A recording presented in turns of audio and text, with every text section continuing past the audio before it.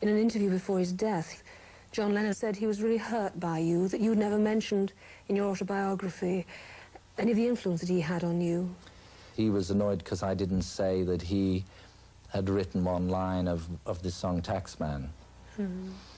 But Did you tell him that? Well, I, I didn't because he was already dead after that. But the point to that was that I also didn't say how I wrote two lines to come together or three lines to Eleanor Rigby. You know, I wasn't getting into any of that. I think on in the balance, I would have had more things to be niggled with him about than he would have with me.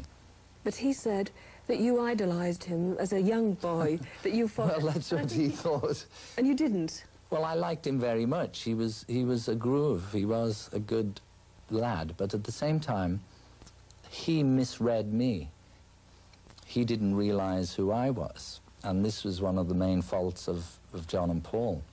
They were so busy being John and Paul, they failed to realize who else was around at the time. Okay, well, I don't mind. I'll, I'll play, you know, whatever you want me to play. Or I won't play at all if you don't want me to play. No, whatever it is that will please you, I'll do it.